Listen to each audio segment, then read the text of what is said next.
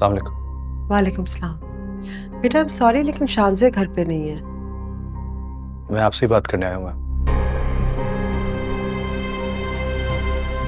मैं आपसे कुछ कहना चाहता हूँ। बोलो।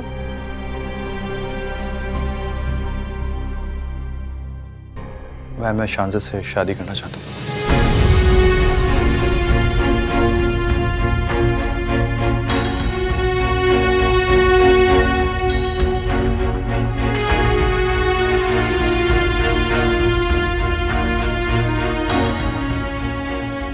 किसी ने मजबूर करके भेजा है? नहीं।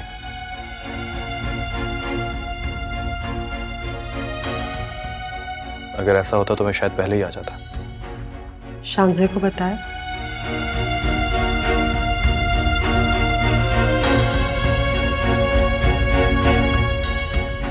तो अपनी अम्मी को भेजो ना। रिश्ते के साथ।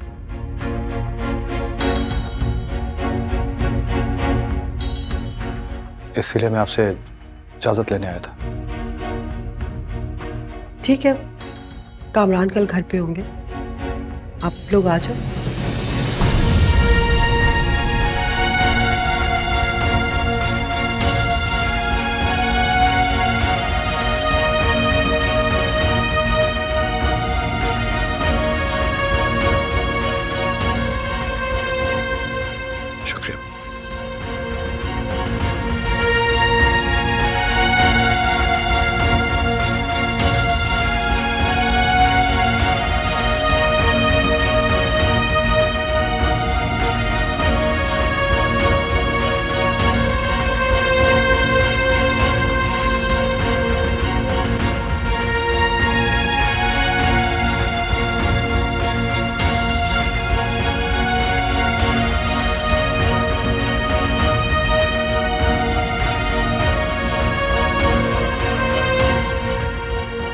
Hi. What a surprise. तुम जीत गई शान से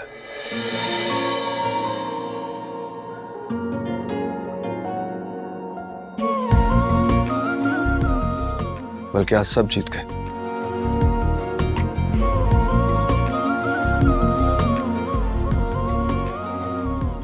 बस शानी हार गया दिल के हाथों मारे तेरे लिए अपनी दुनिया पीछे छोड़ जाए ऐसा नहीं था पहले जो आज हो गया है। इश्क है तेरा सर पे या कोई दुआ है। इश्क आशिक की दवा गम हो चाहे या सजा।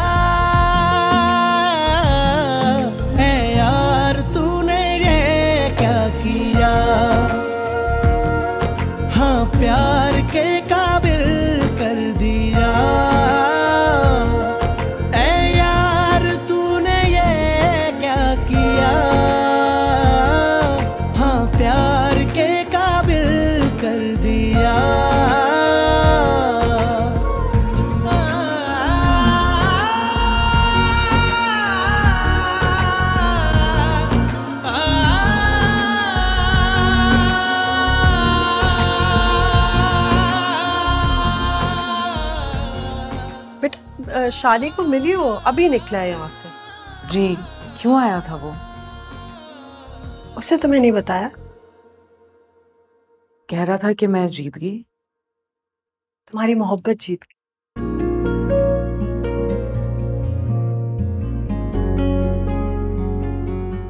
वो अपने खानदान के साथ ऑफिशियली तुम्हारा रिश्ता लेने आना चाहता है।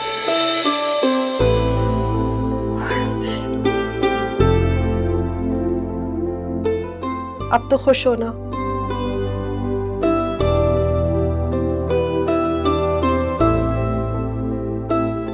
बस मुझे ये खुशी उसकी आँखों में नज़र नहीं आई।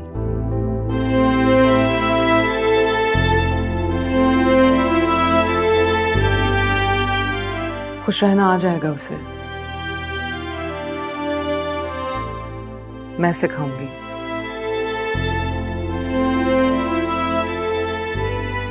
जीतिए रहो और खुश रहो।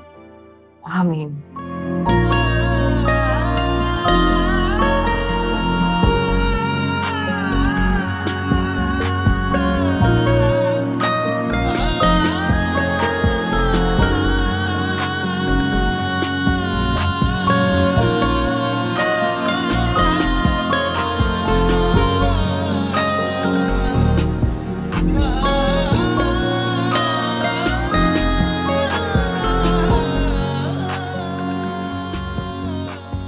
तुमने अपनी बीवी को बताया नहीं कि तुम वापस कब जा रहे हो? हाँ उसने पूछा था तो मैंने बता दिया कि एक महीने की छुट्टी और ले ली है। चलो उसे तो बता दिया। अब मुझे भी बता दो कि घर कैसे चलाना है। यकीन करो मेरे पास खर्चे के पैसे नहीं बचे अब। हाँ फ़िक्र मत करें सब हो जाएगा। अरे कब हो जाएगा? कैसे हो जाएगा? तुमने तो मुझे कहा था कि तुम अपना कारोबार शुरू करोगे। तो कर लूँगा। आप थोड़ा सबर तो करें। और कितना सबर करूँ?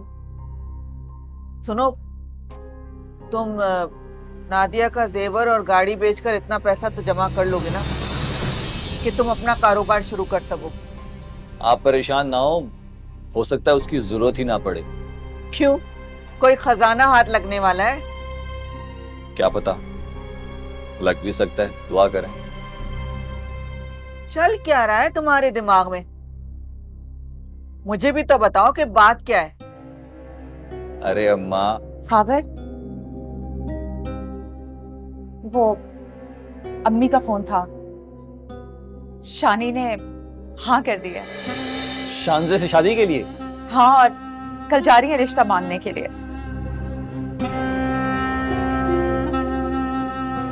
अरे सुनो तुम्हारे भाई की मंगनी तो मामू के घर नहीं हुई हुई थी? अरे नहीं नहीं अम्मा वो तो कब की टूट गई? अब नाती उठो तैयारी करो हम अभी चलते हैं। आंटी को जाके मुबारकबाद देते हैं। क्या सोच रही हो? जल्दी चलो रास्ते में से मिठाई भी ले लेंगे। जी। अरे लड़की वालों को हाँ तो करने दो। फिर खिलाते रहना अपने ससुराल वालों को मिठाइयाँ। अरे अम्मा उनकी तरफ़ से तो कब से हाँ थी सिर्फ़ इस शानी की हाँ का इंतज़ार था।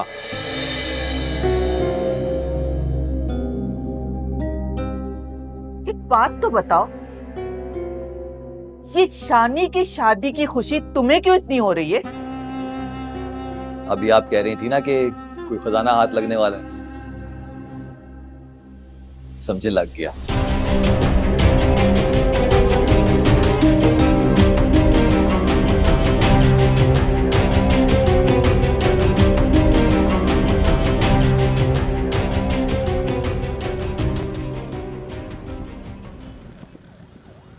बेटा, जब फैसला कर ही लिया है तो इतने उदास होकर क्यों बैठे हो? उन लोगों ने तुम्हारी ये उदास शक्ल देख ली ना तो क्या सोचेंगे?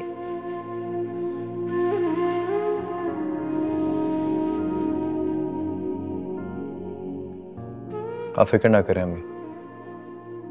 आपका बेटा सारी ज़िंदगी अदाकारी करने के लिए तैयार है।